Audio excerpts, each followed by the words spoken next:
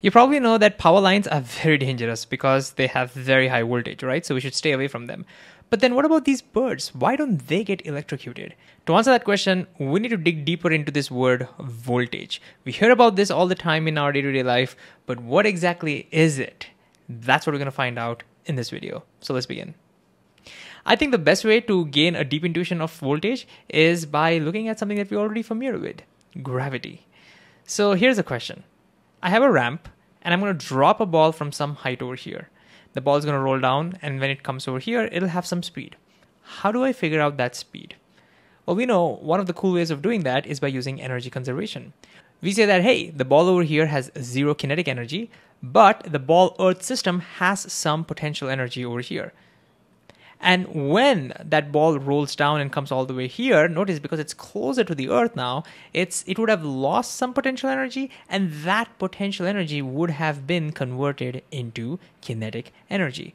And so if I know the kinetic energy, I can figure out the speed of the ball. So you would say, hey Mahesh, just give me the values of the potential energy of the system over here and when the ball is over here, and then you can just subtract those values, figure out the kinetic energy, and boom, you're done. In fact, while we're at it, you might as well ask me the values of the potential energy of the system at every location over here. Because then you can do this for any two points right? So you might expect something like this this means that when the ball is over here, the system has 200 joules of potential energy. When the ball is over here, it has zero joules of potential energy and so on and so forth. And now just by looking at this, you can say that, hey, when the ball comes from here to here, boom, see, it would have lost 160 joules of potential energy. And therefore, the ball must have gained 160 joules of kinetic energy. And since you know the mass of the ball, you can now calculate the speed of the ball. So easy, right? But wait a second, you say. You quickly realize that these numbers only work as long as you're dealing with a 2 kilogram mass. But what if you're dealing with, let's say, a 4 kilogram mass over here? Then you understand, hey, no big deal. If you're dealing with a 4 kilogram object, if you had kept a 4 kilogram object over here, the potential energy would be just double. Because you remember that gravitational potential energy of the Earth ball system is proportional to mass of the ball and of course mass of the Earth as well. But since it's proportional to the mass of the ball, if it's if you're dealing with the twice the mass, the numbers would just be twice. If you're dealing with half the mass, then the numbers would over here would be just half of it. So you get now an incredible idea. You say, hey, hey, hey, the potential energy over here will be 200 joules if you're dealing with a two, if you kept a two kilogram mass, right? But what if you kept a one kilogram mass? Then the number over here would be 100 joules. So you say, let's write this down as 100 joules per kilogram. By writing it this way, we are now indicating that if I kept a kilogram over here, the gravitational potential energy of the system would be 100 joules.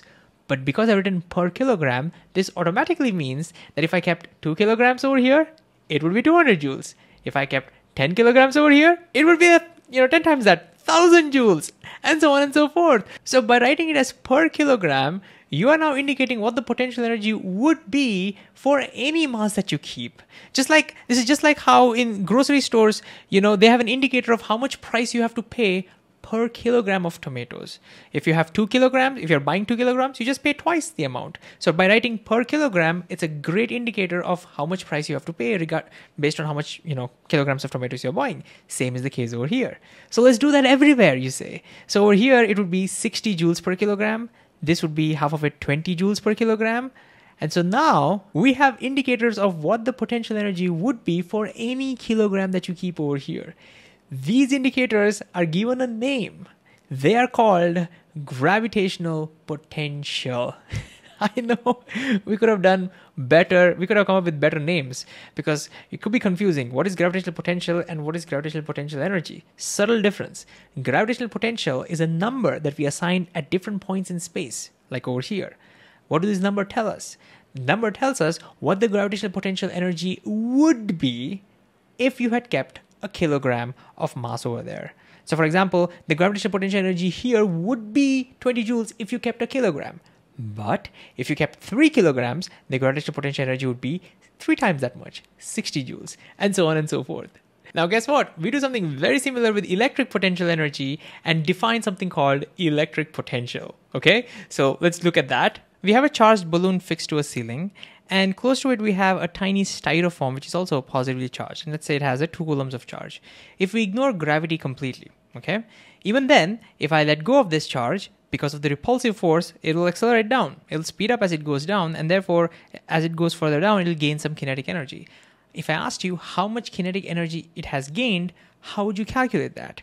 You would again say, hey, Mahesh, give me the values of the electric potential energy of the system over here and when that object is over and the styrofoam is over here because then if you subtract the two you can find how much the potential energy has decreased and you can calculate how much the kinetic energy has increased. But then you would do something very similar. You would say, hey, hey, hey, instead, just give me the electric potential energy value per coulomb everywhere. Because if I give you that, then you can do this for any charge moving from any one point to another. This means if you had a coulomb over here, then the potential energy of electric potential energy of the system would be 100 joules.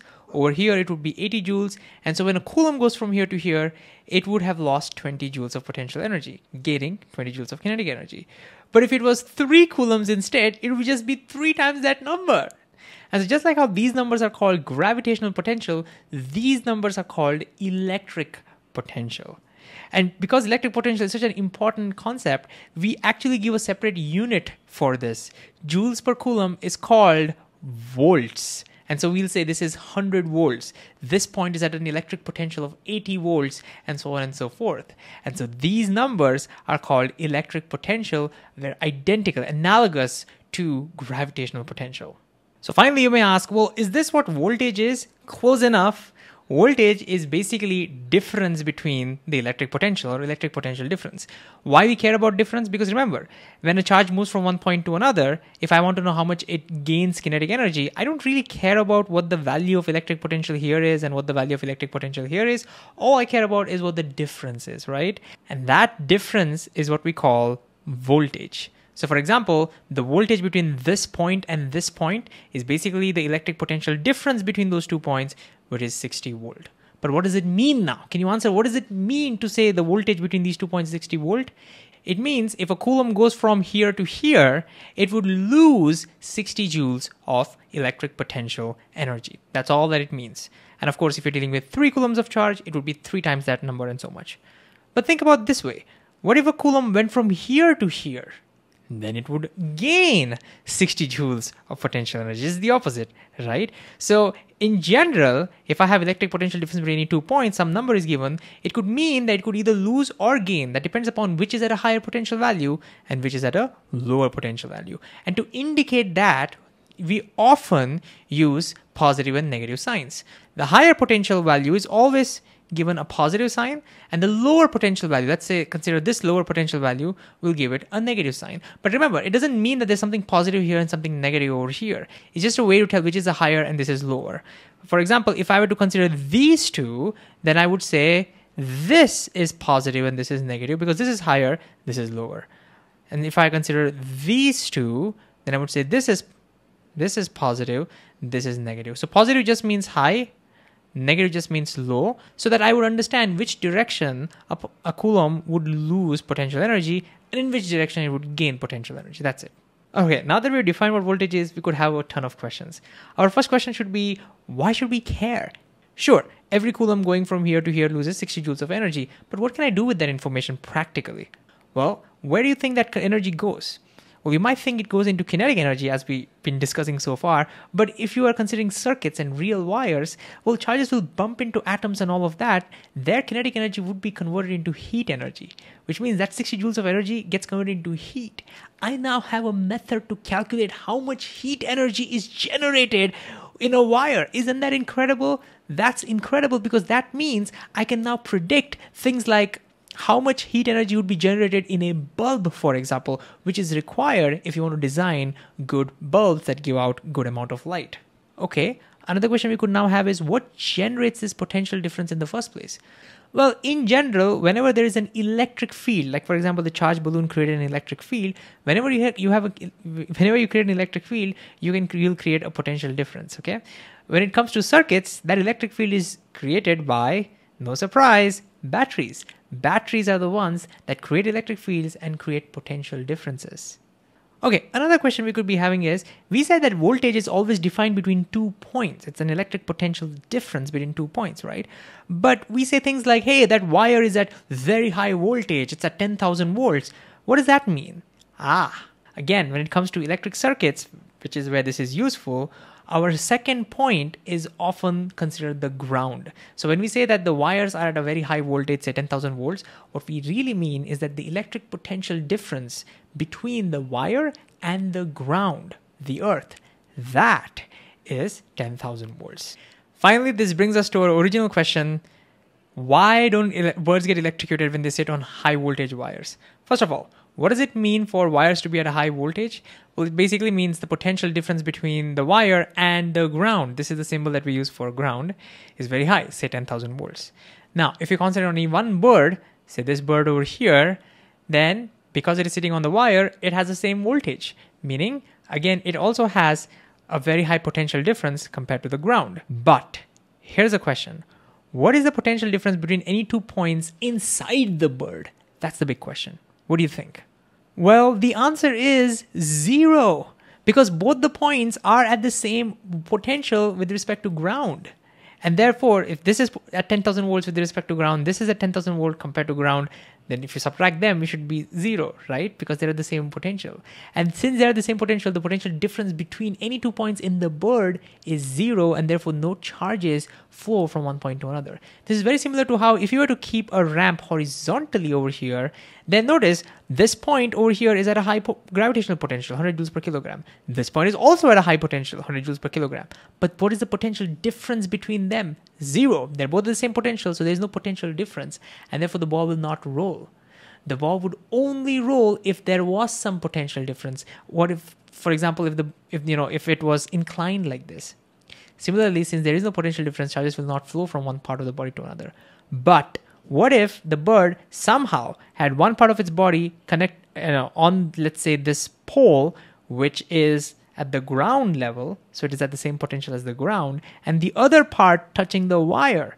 Now there will be a potential difference between the you know these two par- parts. There will be potential difference between points in its body. Now there will be charges flowing that could be lethal to the bird.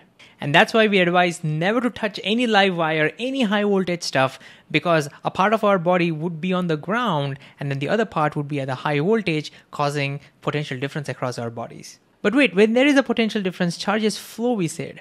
But which direction the charges flow? And how do we quantify that? We'll talk about all of that stuff in the next video.